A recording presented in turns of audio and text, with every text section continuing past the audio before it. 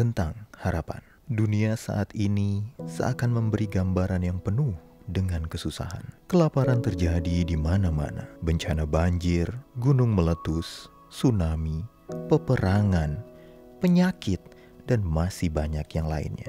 Itu merupakan sebuah dilema besar yang saat ini dihadapi oleh manusia.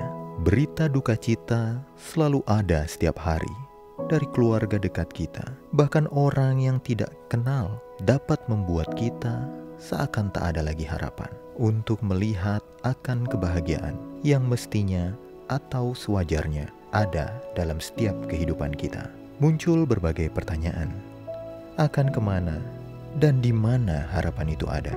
Tentang harapan, Alkitab berkata, Akulah jalan kebenaran dan hidup. Barang siapa datang kepadaku, ia akan hidup walaupun ia sudah mati.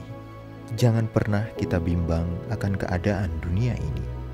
Haruslah kita berkata bahwa semakin jahatnya keadaan dunia ini, atau semakin rusaknya dunia ini, semakin tingginya harapan kita akan Sang Juru Selamat. Ia akan datang dan mengambil kita, menjemput kita menuju tempat yang indah yang sudah Ia sediakan bagi kita. Bukankah ini harapan kita